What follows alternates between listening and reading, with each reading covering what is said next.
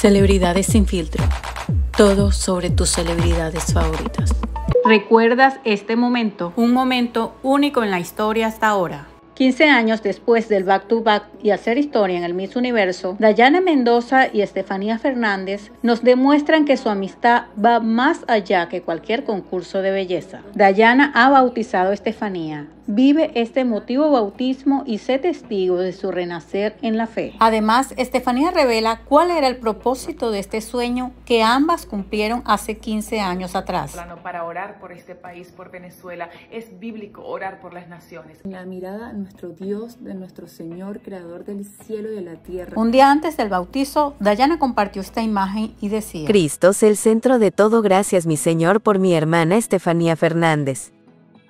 Dios es bueno, nueva criatura en Cristo Jesús. La vida antigua ha pasado, una nueva vida ha comenzado. Gracias Dios por tu llamado, gracias por rescatarme, gracias por renovarme, gracias por tu amor y sacrificio Señor Jesús. Eres el camino, la verdad y la vida. De modo que si alguno está en Cristo, nueva criatura es.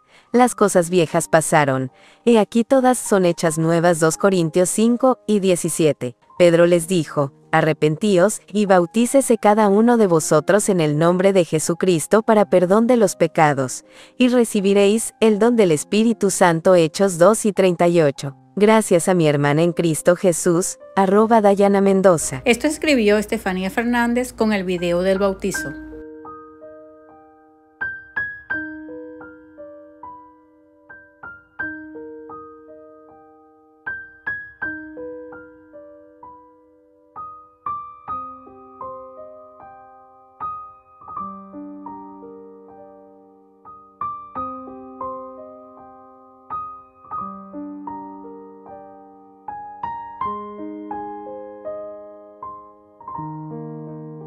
Al cumplirse 15 años y recordar aquel momento histórico, Estefanía reveló. Nunca entendí con claridad el propósito de ese sueño cumplido. Ahora 15 años después lo entiendo, Dios lo tenía todo en su plan. El gran propósito, dar a conocer su palabra al mundo. Toda la gloria para nuestro Rey de Reyes que todo lo hace posible.